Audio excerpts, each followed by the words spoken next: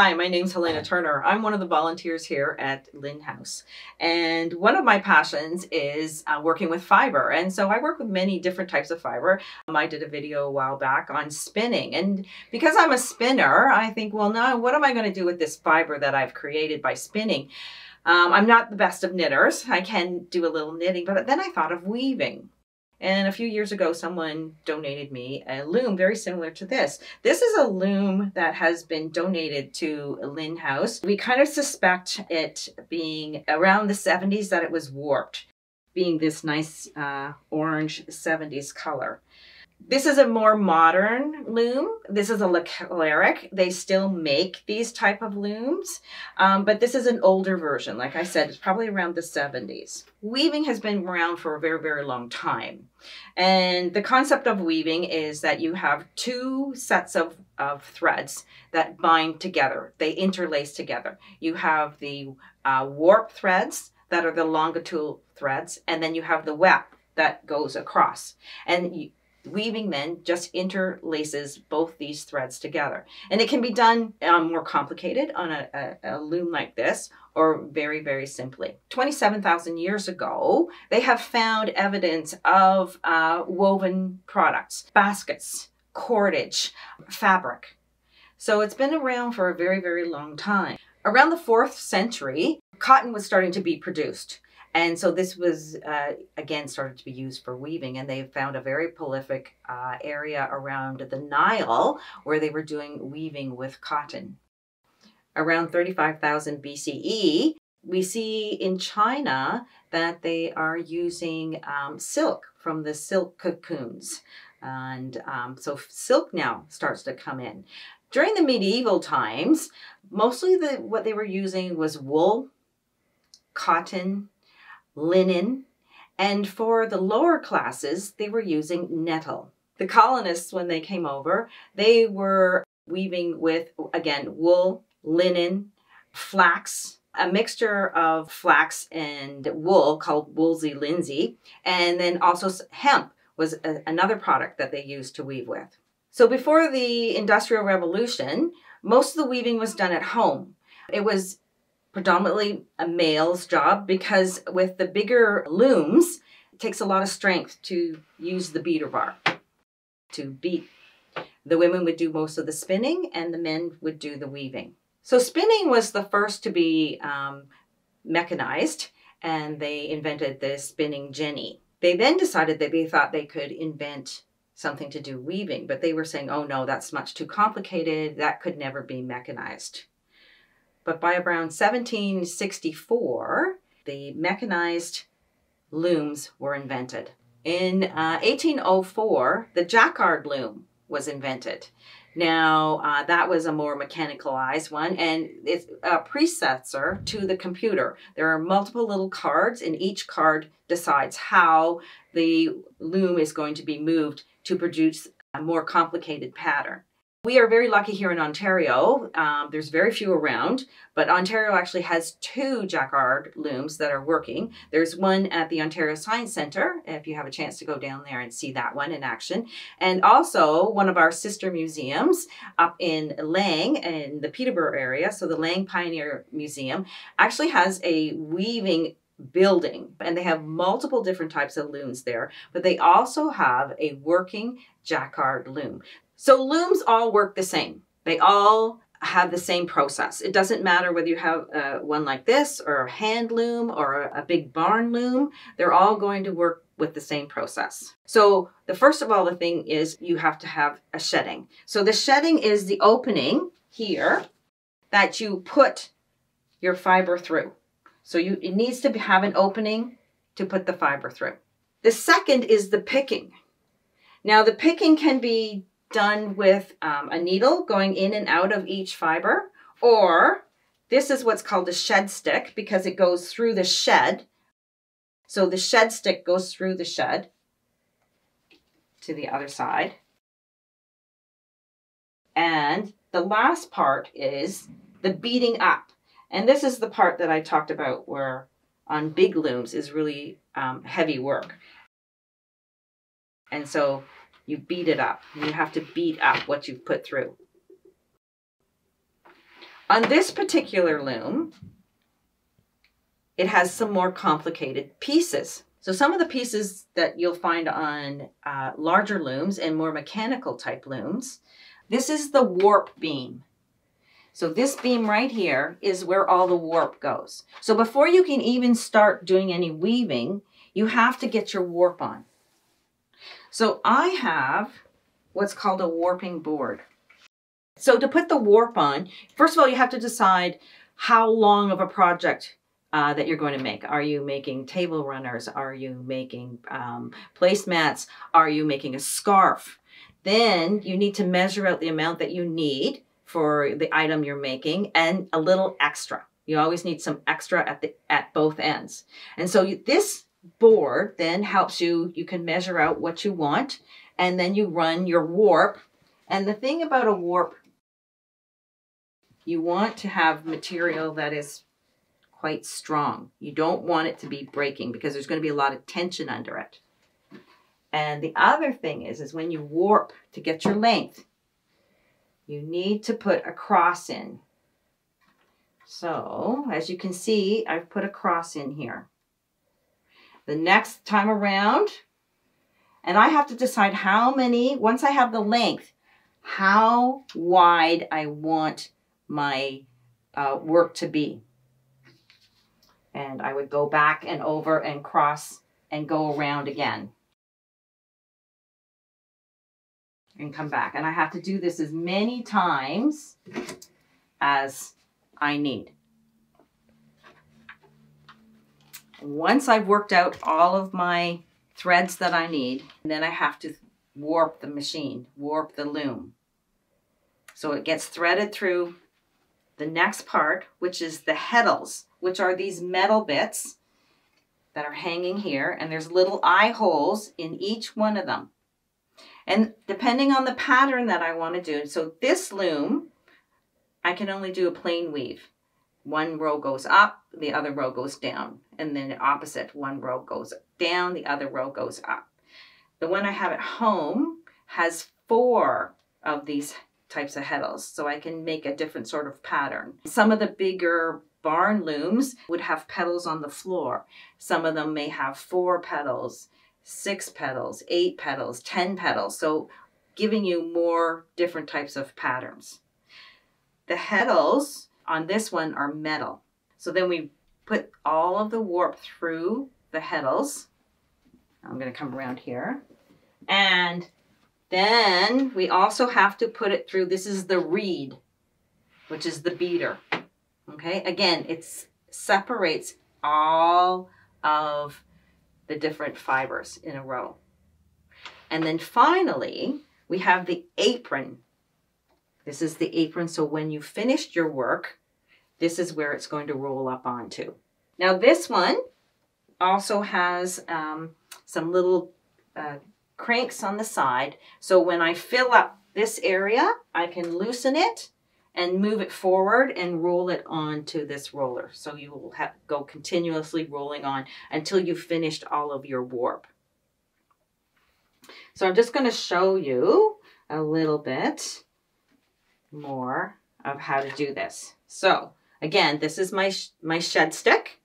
I'm going to insert it into, now I have to make sure what I had done before. So before, I don't want to do that one again. I'm going to change my heddles. So on this, I'm going to flip it so that it switches. And I'm going to give it a little, so now I have my shed space again. And I'm going to put my shed stick through. And I want to keep my edges nice and smooth. I don't want to, if you pull too tight, you're going to, it's going to go in. It's going to have a wobbly edge. And to, one of the things to do that is I'm going to pinch a little bit and I'm going to keep this on an angle. I'm going to pull my beater bar down. Now I don't want too big of a loop.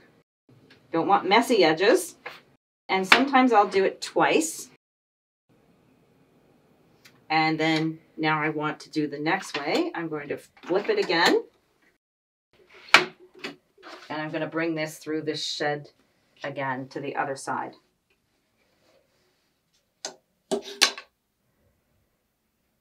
Put it on an angle, give it a little beat, flip it back the other way. I'll go two more times. And then I want to show you a few other things. So not everybody has a nice loom like this. But what we're hoping is that um, during the spring at one of our uh, histories in the park that we'll be able to get the loom out and maybe when you come for a visit you can have a try and do a little bit of weaving add your touch to our piece of fabric that's going here so we're really not sure what this is it could be a table runner it could be placemats because we haven't gone very far on it so when we take it off the warp we'll find out what we got. but they would have used looms, bigger looms, to make wool fabric. So your wool would be on here. You can make carpets. You can make, if you're a fine spinner of cotton, you could make cotton fabric. For a bigger loom, this is what's called a boat shuttle. So it's very similar to my shed stick. It has a little bit of a bobbin here and that comes off. I could fill this with fiber and then I put this back on and then this then I open up my shed and because this is small it was meant for a bigger one but it does the same thing. It will bring the fiber through. And it will slide much faster. You can shoot these ones across when you have a huge shed on it. So this is called an inkle loom. And again, it's a very basic loom, but mostly what it's made for, um, making like straps. And I've started working on this one to make a strap for a satchel that I'm making. So this will be the straps for my satchel. And it works similar. Now, I talked about the metal heddles on this loom, whereas an inkle loom has what we call our fabric heddles. So these little um, strings down here will hold half of the work down. So I press down on here and look at there's my shed again. I don't have a shed stick for this one, but I've made one out of a piece of cardboard and just wrapped some of the fiber around it. So I've already come this way. Now I want to switch to go the opposite way. So I'm going to lift up these ones. This is my shed now here. I can now put my fiber through here And now I don't have a beater bar. How am I going to beat this down to make it nice and tight? Well, the best thing I use for this, one of my favorite tools, and something that we all have in our own homes, are I can use a comb that will beat it down, or another thing to use is a fork that will beat it down as well. Now I want to go back. I'm going to bring my shed down I'm going to run this through.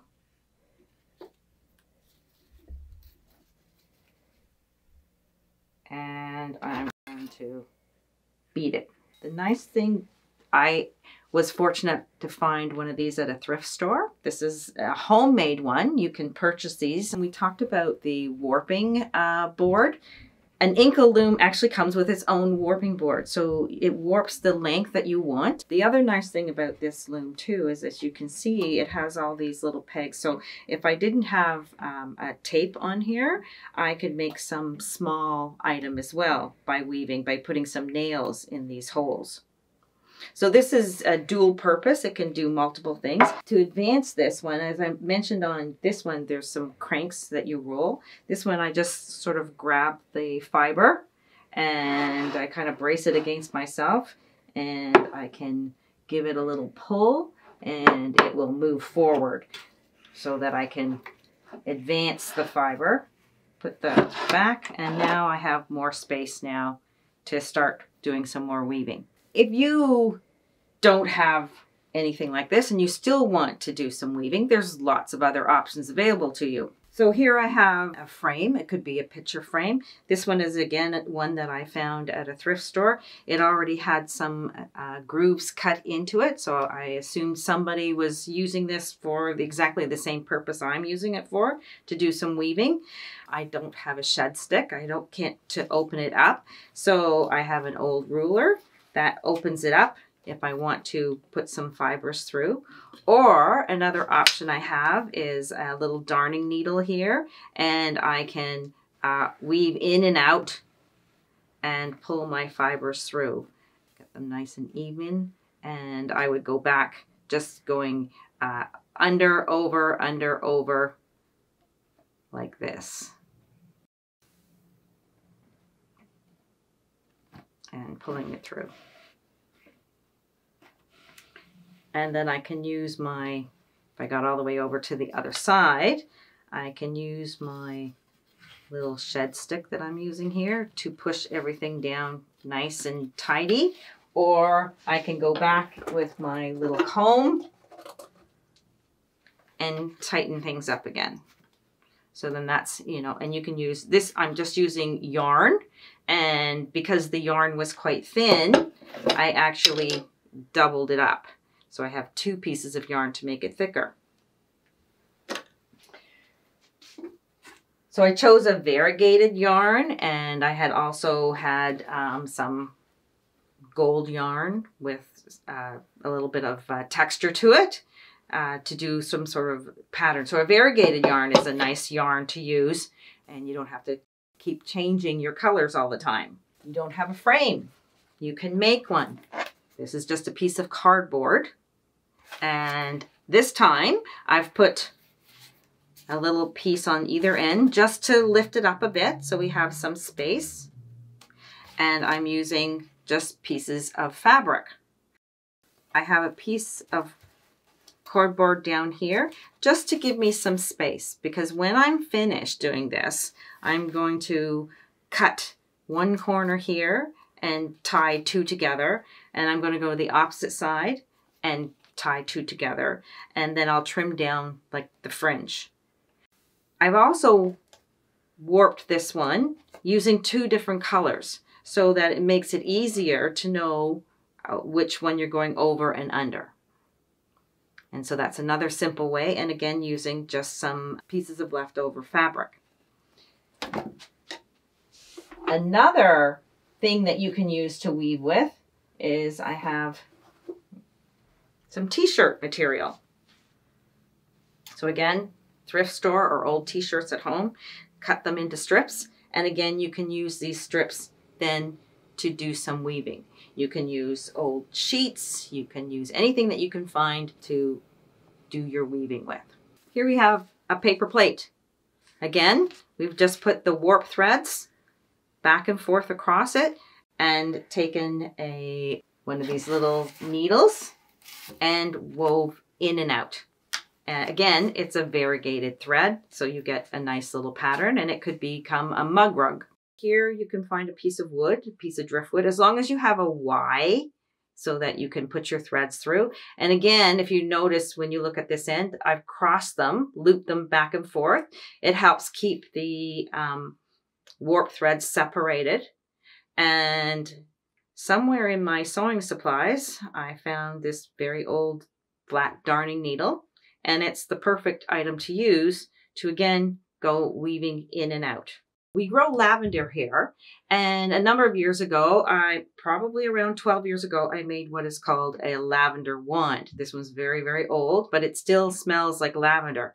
So again, it's weaving. You've bent lavender over top of the flower part, and you've used a ribbon to weave in and out to encase the lavender. This would have been put in a closet or a drawer to keep your linens fresh. And hopefully, maybe this summer, we'll be able to make some lavender ones here at the Lynde House Museum. So here we are over in the parlor of Lynde House, and we have a few items that have been woven. On this couch here, we have a number of what are called coverlets. So they're like blankets, and you use them on your bed but they are called a coverlet. So as you can see, they all have many different types of designs and they've been woven on much larger looms than what we have here. And uh, we have, they can come in all sorts of different patterns and styles. Um, this one has multiple colors, whereas the other two are just two separate colors. So there are many different styles of these coverlets. We have this quilt that has been donated. Now the quilt is made out of wool and the the wool is woven in many places. So the wool would have been woven on a loom and then it has been quilted and it has been tied. So thank you for spending some time with me and learning a little bit about weaving. I invite you to come and visit us here at the Lynde House Museum. Hopefully when we have our history in the park, you'll be able to come over and we'll have the looms working and you'll get a chance to actually do some weaving.